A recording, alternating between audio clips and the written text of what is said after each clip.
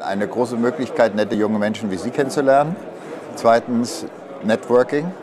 Und drittens Innovationen, die man ja nicht alltäglich äh, erfährt oder in den Zeitungen liest, äh, persönlich vor Ort, live quasi vorgestellt zu bekommen. Damit doch ein bisschen einen Marktvorteil zu bekommen und ähm, die Möglichkeit, sein eigenes Produkt vorzustellen.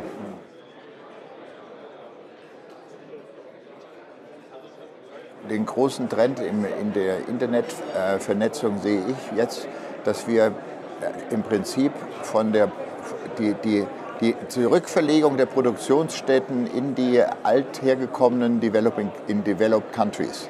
Das ist für mich das große A-Erlebnis durch die Technologie ermöglicht, dass halt ähm, Amerika plötzlich wieder große Rolle mitspielt bei der Produktion, weil Logistikwege immer unangenehmer werden durch die Länge und der Zeit. Du hast ein Produkt, du musst es nach China geben zu produzieren.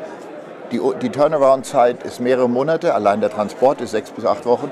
Und dann verlierst du einen wahnsinnigen Market-Vorteil gegen Niche-Producer, die halt zum Beispiel in den Schwellenländern wie Mexiko produzieren, die kostenmäßig nicht viel weniger, äh, nicht viel teurer sind wie China, aber halt über die Grenze in Steinwurf.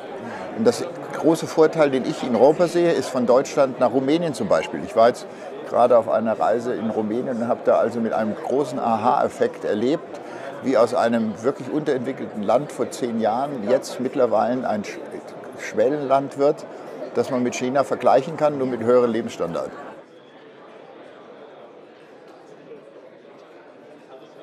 Ein wunderbares Sprungbrett, um halt in Amerika hauptsächlich, wo ich halt ansässig bin, ähm, junge deutsche Start-ups an den Markt zu führen und äh, quasi in Partnerschaft mit Mountain Partners hier Türen zu öffnen und ähm, Logistikwege auch wieder zu verkürzen, die, die sonst nicht gegeben wären, durch mein Network in Amerika.